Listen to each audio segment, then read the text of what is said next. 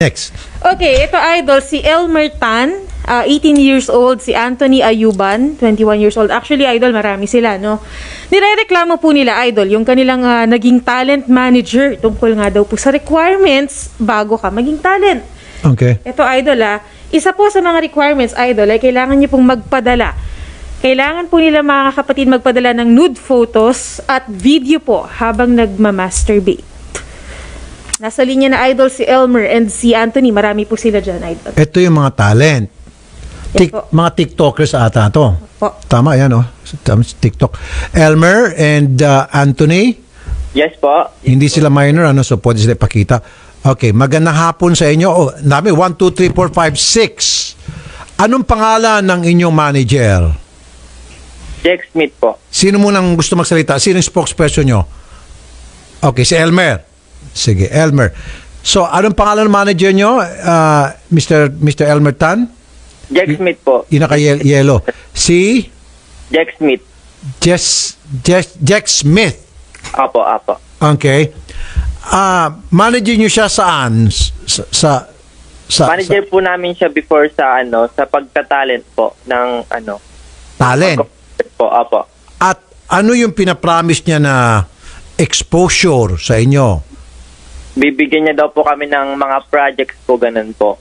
Mga projects sa TikTok, Ang mga sponsor po, ganun po. mga sponsor.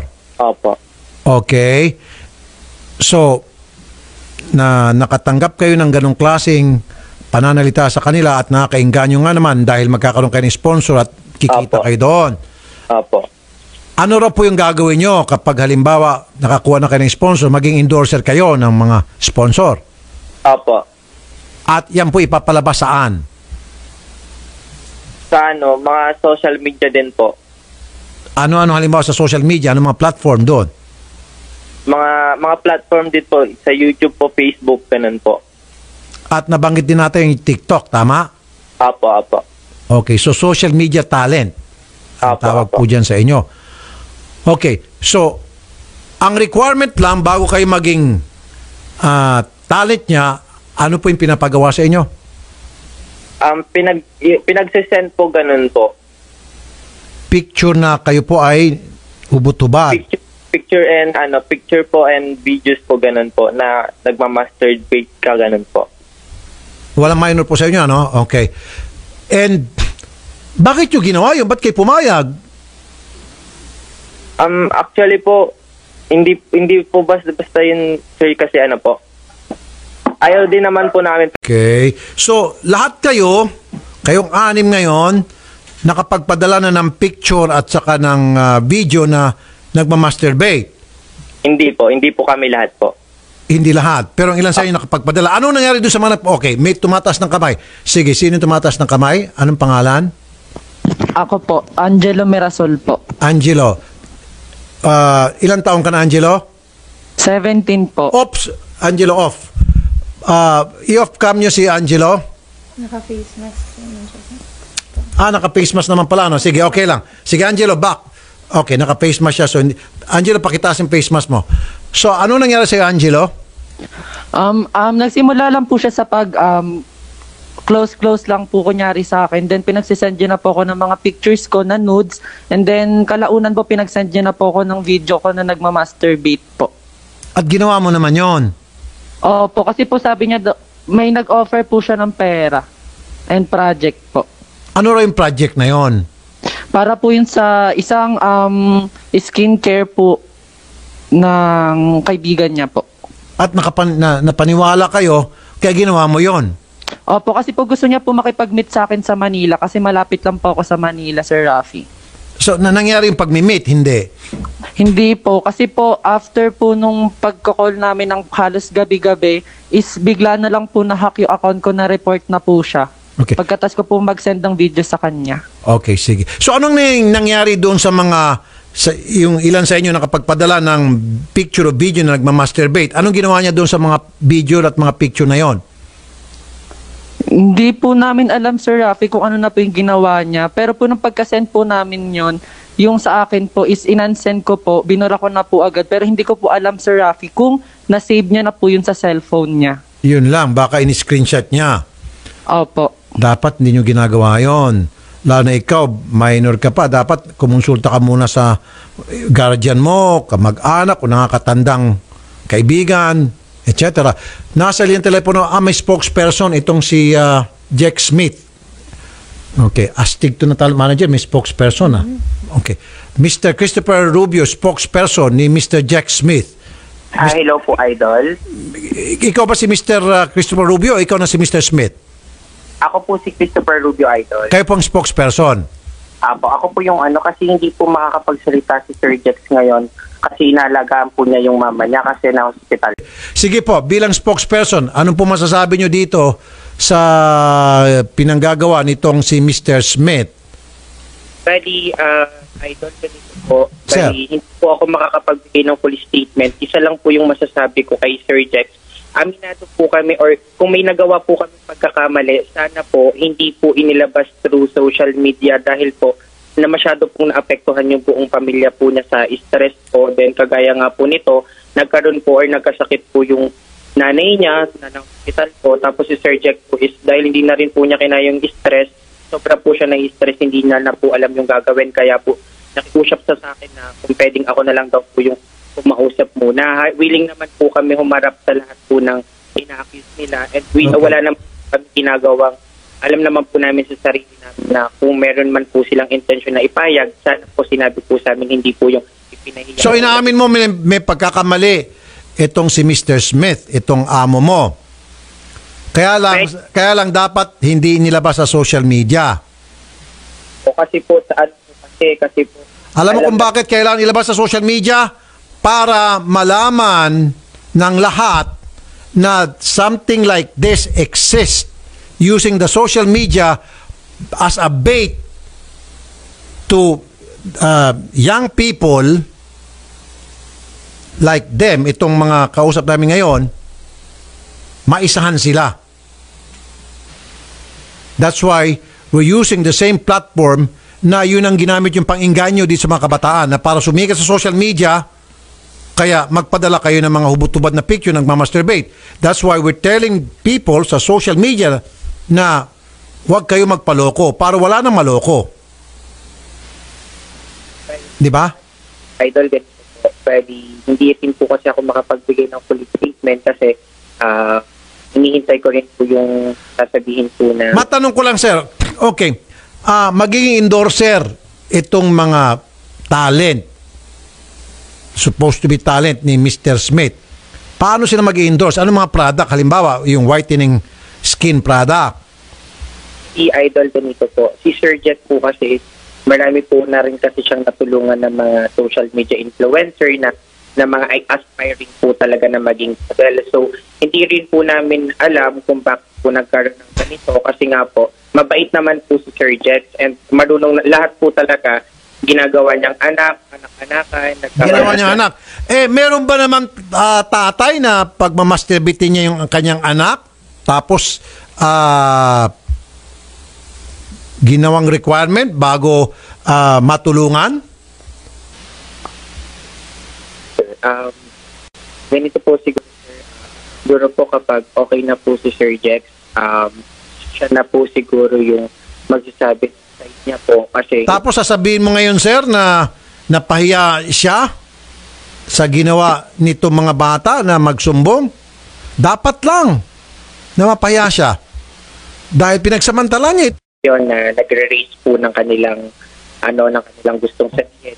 So gusto ko lang po malaman nyo na alam nyo naman na kahit nagawa or kung may nagawa man si Sir Jex na ganon, alam nyo naman kung ano yung maging naging mabuti rin na nagawa ni Sir Jex. Kung meron man nagawa siyang pagkakamali, ah, siguro napagbayaran niya na to na nag Napagbayaran niya po. Ano, ano pong pagbabayad ang nangyari?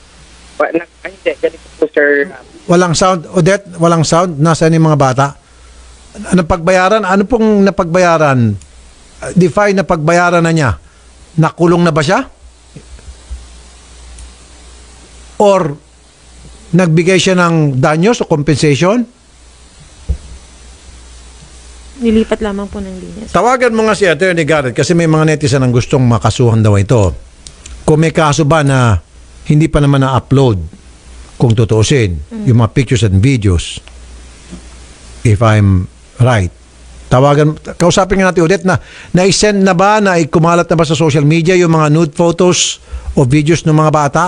Hello po, um, si Elmer Tan. Elmer, Yes po, yes po. okay, yung mga nude photos and videos ninyo, naikalat na ba sa social media o wala pa? Meron, na, meron pong iba na kumalat na po.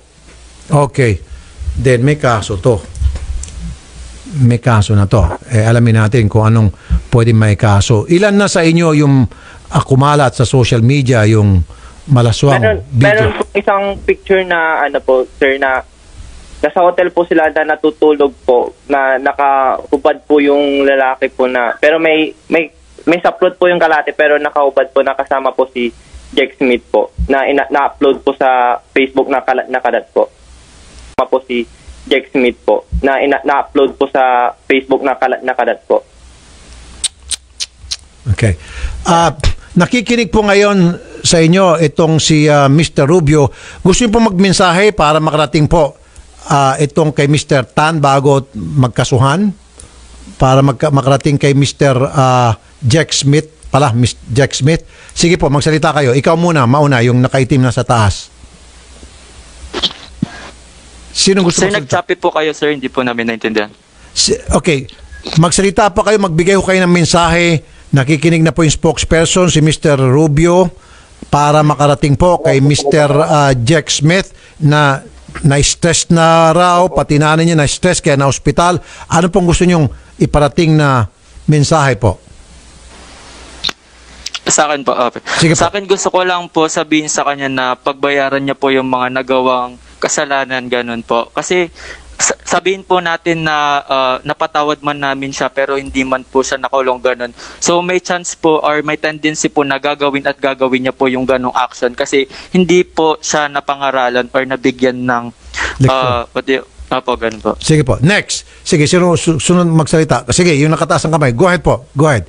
Sige. Ako po, ang gusto ko po sabihin sa kanya is si yung, um, isa po siyang manager na kung tutuusin siya dapat po yung mag-guide sa amin kasi kami pa po yung mga freshmen dito sa social media pero siya pa po yung gumagawa sa amin no, na pinapangakuan niya kami ng mga bagay na sa tingin niya po is makukuha niya kami and then ginagam- ginagamit niya na po kasi kami talaga sa mga plano niya po like naman po, sir. nakikipag ano po siya nakikipag video call po siya na nagjaja call po siya na nandun po kami na nanonood sa kanya na kunyari nasasarapan daw po kami sa kanya. Ang gusto ko lang pong sabihin sa kanya is kung sa amin po nagawa niya na yun, sana hindi niya na po maulit at pagbayaran niya na yun para hindi niya na maulit po sa iba sa iba pang minor de edad po. Okay. Good. Next, sino naman gusto magsalita ulit? Pa- pangatlo? S- Sige, yung naka naka yellow. Ay, yung tumas ang kamay. Sige po, yung nasa gitna. Go ahead po. Sige, yung naka tumas ang kamay. Yellow. Ngayong April 2021 po, nananakot po yung mga yan, sir. Ano pong pananakot ang ginawa? Sir, ano po, pumunta po sila sa bahay ng ano po, nang walang pasabi kung anong ginagawa nila doon. Nagtanong-tanong sila about sa akin and gumamit po sila ng isang GMA, ay GMA, parang ano po, parang network, isang net- network po na ginamit po nila para mahanap po ako mismo. Ginamit ang isang TV network? Opo. Sure ka? Baka naman Opo, nagpanggap meron, lang yun. meron, meron, meron po akong pruweba and na-record ko po yun. Nari, so, wala nangyari. Pananakot lang. Opo, parang nananakot po. And buong araw po hindi po ako lumabas nun kasi... Natakot ka? Baka interviewin ka Opo. nga nung TV network na yon. Opo. Okay. Sumunod, yung naka ano naman, naka white shirt. Sige po, yung naka white shirt. Magmensahe Hello po po. kayo. Ah, sir. Sir Rafi, hindi po ako galing kay Jax Fab, pero isa po ako sa mga naras po ng manager. Okay. Sige, anong mensahe mo po? Um, sa lahat po ng mga manager na nang abuso po ng mga bata, hindi po yun kasalanan ng mga batang gusto pong mangarap na parang nagsisi, nag, nakakaranas po sila ng masama sa buhay nila dahil po sa actions na ginagawa nila. Okay. Yung naka-blue naman. Sige. Ikaw naman yung naka-blue? Sige, sir. Magmensahe po kayo. Ako po, sana po magbago na po si Sir Jex po. Jex po. Ayun lang po. Okay. Yung, yung kanina nag-freeze, yung nasa gitna, sir, okay na yung, yung audio? Anong pangalan noon? Yung ah, naka... Yung kanina nagsalita na nag-freeze yung audio? Si Anthony. Anthony? Okay, gusto mo ituloy yung salita mo? Naputol ka kanina, sir. Hello po. Sige po, go ahead po, Sir Anthony. Um, masasabi ko lang po sana magbago na po siya, hindi lang po para sa akin, para po sa mga kabataan ngayon. Kasi hindi po hindi lang po kasi ano eh, hindi lang po kasi pag paggagalaw yung mga ginagawa kasi minsan yung sa amin kasi po hanggang first ano one year one year po ako naging artist po sa kasi sa kanya tapos ano po um yung pag TTF po sa kanya tsaka pag pag-scam po ng mga pera ganun po Okay, sige. Ngayon, si Attorney Garrett, tungol ng AXIS. Attorney sir. Garrett, Yes, Sir Rafi. okay. Anong kaso doon sa kanilang manager na Yes. gumawa ng kalaswaan at pinagawa sila ng kalaswaan, video, and then ngayon yung mga video nila ay kumakalat?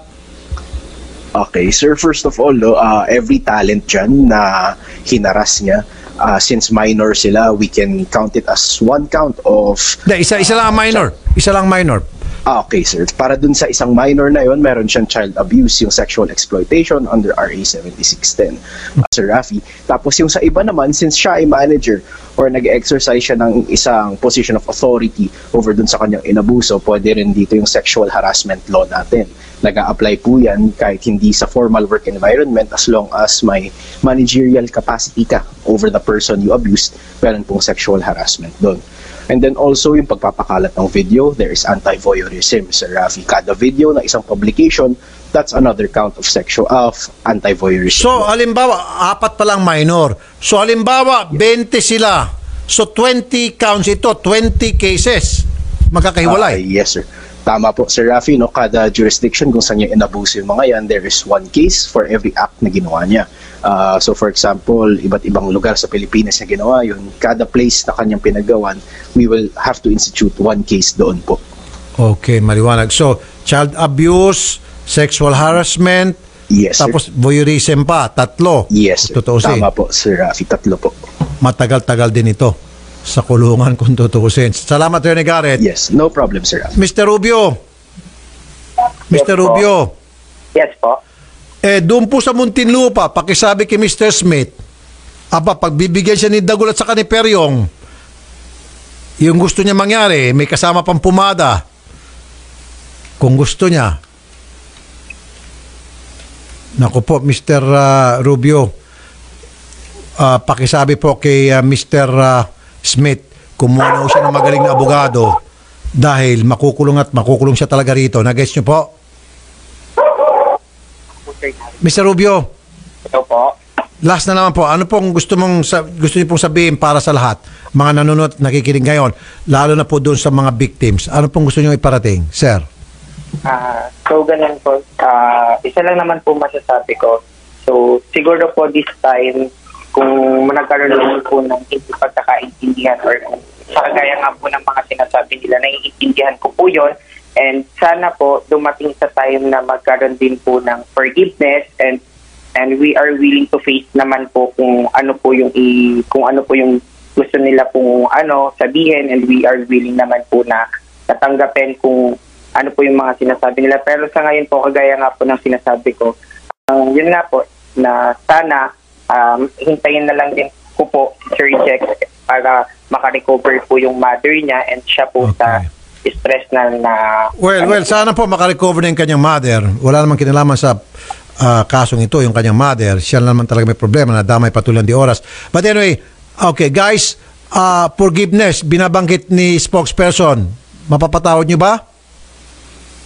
Sir, hindi po. Hindi? Unanimous ba? Hindi po. Hindi po. Okay. A- ayan po, Mr. Spokesperson Sir Rubio, unanimous po. Hindi rin nila patatawarin yung amo mo. Paano yan, sir?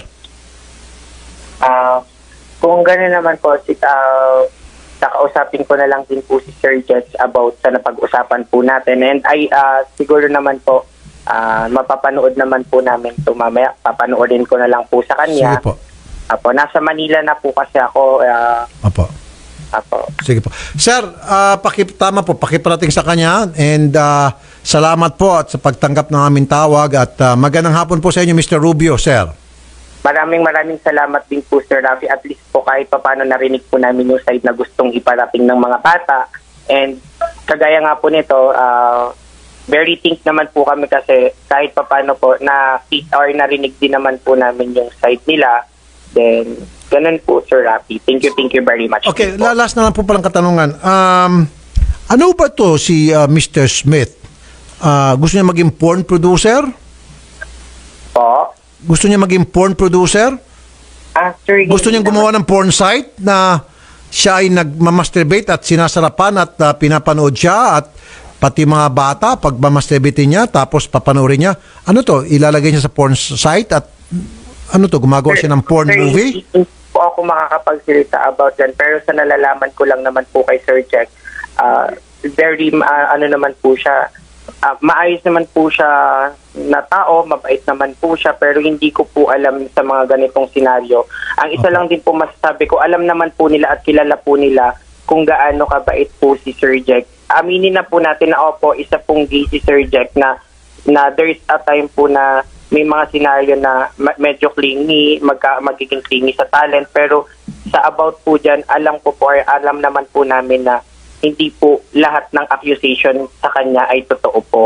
Kasi meron din naman po kaming mga patunay na hindi rin naman po ginawa yung iba na sinasabi sa kanya. Okay, sige po. Maraming salamat po sa ulit sa inyo, Mr. Rubio. Opo, Sa Sir Rafi, thank you very much din po. Magandang hapon po, Sir Rubio. At doon naman sa mga bata, ah, Mr. Elmer Tan, Yes po, sir. et al. Salamat sa inyo. Huwag niyo ibawang telepono. Kakausapin kayo ng staff para doon sa pagsasampa nyo ng kaso.